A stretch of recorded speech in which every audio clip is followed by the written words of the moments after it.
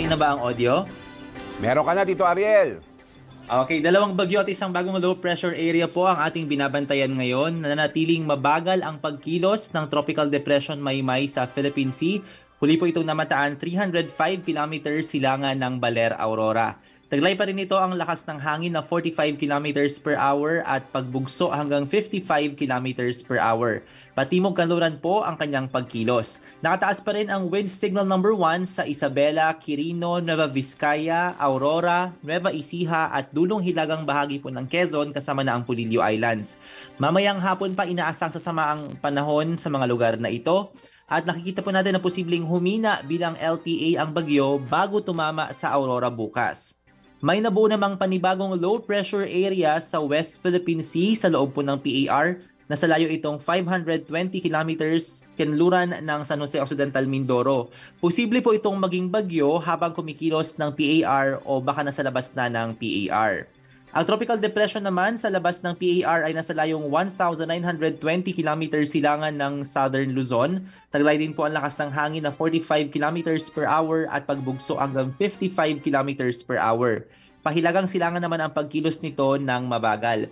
Sa Webes ng gabi pa ito inaasang papasok sa PAR, lalakas pa ito bilang tropical storm habang binabaybay ang Philippine Sea at ang Batanes Mabuyan area po ang tutumbukin nito sa linggo ng gabi. So depende kung alin sa dalawa na sama ng panahon ang mauunang maging bagyo sa loob ng PAR. Uh, up for grabs po ang mga pangalan na bagyong Neneng at Obet. Pero parehong wala pang epekto sa bansa ang LPA at ang bagyo sa labas ng PAR. Dahil naman sa shear line at uh, bagyong may may makaranas po ng malalakas na ulan sa Cagayan Valley, Cordillera, Aurora at Ilocos Norte.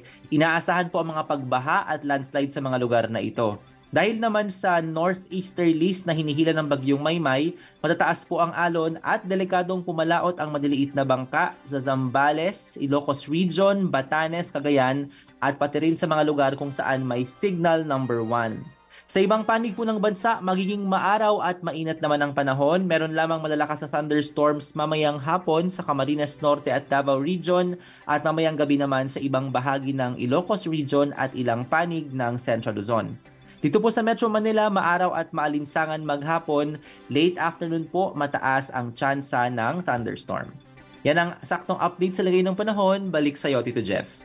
Dito Ariel, uh, ito bagyong Maymay parang pulang-pula lang doon sa sa mapa. So pakipaliwanag lang siguro ulit kung gaano karami yung dalang ulan nito. Linawin lang natin, no? Yung nakikita sa mapa natin na mapulang blob, mm. actually wala dyan yung sentro ng bagyo. Yung sentro ng bagyo ay nasa southern part nito. Itong malaking blob na to ay yung shear line o yung dating tinatawag natin na tail end ng cold front. Yan po yung banggaan ng mainit at malamig na hangin. So ito yung nagpapaulan dyan sa Cagayan. So hindi po naaapektuhan ng bagyo ang Cagayan kundi ng shear line.